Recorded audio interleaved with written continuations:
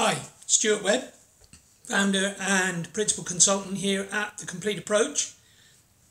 I just thought I'd uh, do a short video because, as well as helping our clients with management advice on how to improve their management uh, techniques with uh, increased self worth, we spend time helping them to become more productive as organizations. And recently, we've been helping a client to put a process automation software live. And I thought I'd just spend a couple of minutes now talking about the process that we went through to get the right software and to choose the right processes and how to make all of that work uh, as a sort of hopefully something that you guys will find interesting and might even sort of get some value from. So, uh, this was a small organization, about uh, three to 400 employees, but they recognized that they could get uh, onto the front foot by starting to understand how process automation software could help them make considerable savings in their business. So the steps I went through to help with uh, getting this uh, project live in this client were first of all to go around and speak to all of the groups of teams of staff to make sure that they were comfortable with the fact that they weren't going to get replaced by a bunch of robots immediately. This was not about getting a replacement of jobs. This was about freeing them up to enable them to become more productive at what they were good at, leaving the drudgery, the more mundane tasks to some simple automation software which would allow them to focus on the value which humans bring to the organization.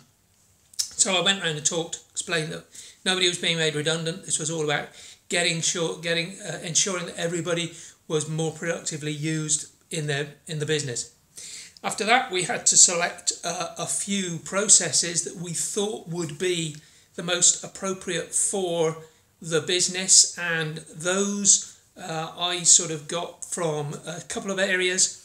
Uh, one of them was finance, another one was uh, interaction with customers, and then I took those processes and, and produced a top 10. It was only at that point that I started going out to potential suppliers to select a software tool that would do all of that because if I'd be, done that before, there's a very good chance, I believe, that what we'd have ended up with was us trying to shoehorn the right process into a piece of software that had been selected. So at this time, there wasn't a software tool. As you can imagine, uh, as soon as I went out and started in making inquiries and booked in a, a, few suppliers to come and give us demonstrations, they immediately thought, great, here's an opportunity to sort of flood the market or flood the, the business with a huge number of consultants. And I we very quickly had to tell some of those that this was not what we were in looking for. We were looking for a very simple piece of software that could almost be run by one or two people in the organisation. We didn't expect there to be a huge implementation, and that obviously put a number of software suppliers off having made our selection of the, the software, and the software we chose was actually one that enabled two things to happen. One of which was that it could be run very simply on a desktop to begin with. That software didn't need to be uh, greater automation than that. It was simple to, to control. And once we'd gone through that process, then we could grow it and make it um, uh, add more layers to it so that it could be greater automated and that the more more things could be controlled from it. But at the start of this project, the only thing that we were interested in doing was having one person every so often click on a button on the desktop and run the new automation software. So having selected the software, I then looked at the existing process, the top three of the sort of 10 that I'd selected. I looked at those processes and we made those processes more streamlined and ready for the automation. And it was only at that point, once we'd selected the software, worked out which process were the top three that we were going to start with, assured everybody that this wasn't going to lead to a lot of job losses, and got them focused on the fact that it was going to bring value because they were going to be able to do things that human beings were good at. It was only at that point that I then started to clean up the processes and make sure those processes had all the waste steps and we understood exactly how the interactions with other computer systems and how humans would interact with them. And then we started to write the software and got one person trained in the business so that they could continue the work that the consultant that we brought in to do this would work with the uh, would work with the software.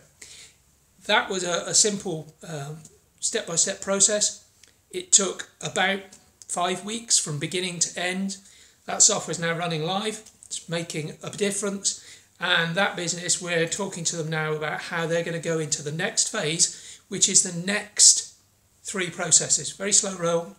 Don't expect to make a lot of um, changes and differences immediately, but another three processes. Eventually, this will make a big difference. But at this stage, it's merely freeing up about three or four hours every month.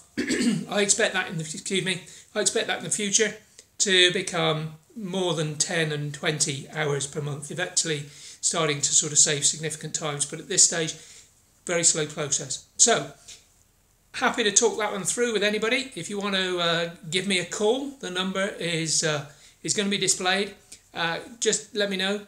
Uh, I'm happy to sort of talk that through with anybody, give you the benefit of my experience, let you know how we went about this process uh, review, how we brought in the software that we did, and um, made a success of that project. Thanks, everybody. This is uh, Stuart Webb from The Complete Approach, and uh, we'll talk to you again soon.